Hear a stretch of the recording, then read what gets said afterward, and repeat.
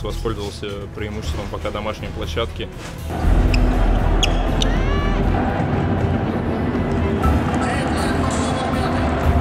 Нет ничего страшного в этом, да, это всего лишь первая игра.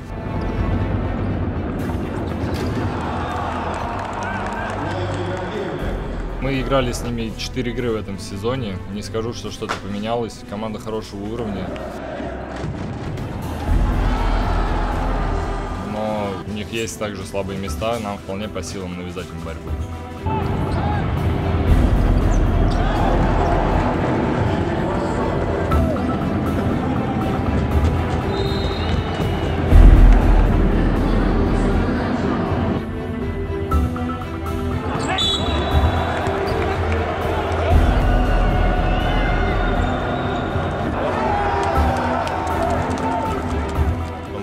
Сражаться до последнего. И большое спасибо болельщикам, которые приехали в эти майские праздники нас поддержать. Спасибо им от команды и продолжайте верить, верить в нас.